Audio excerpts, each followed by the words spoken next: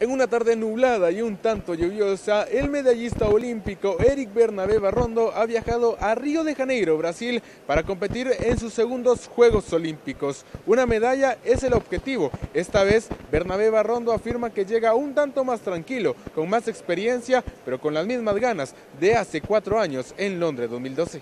Bastante tranquilo, eh, confiando mucho pues que se va a hacer la voluntad de Dios.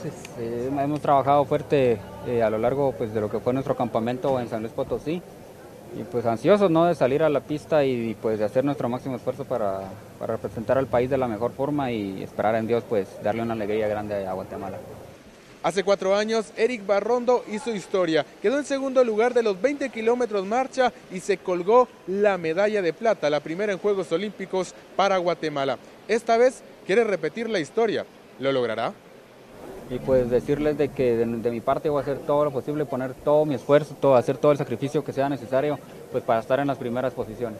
Bueno, yo creo que, que sin presionarme más de lo necesario es, es, parte de la confianza que la gente tiene en mi trabajo y que bueno, hoy la gente se ha identificado con un Eric Barrondo como una marca pues muy personal de ellos y, bueno, es algo que, pues, que a mí me favorece, por, por así decirlo, porque sé que es, es, la confianza que la gente tiene, tiene en mí, ¿verdad?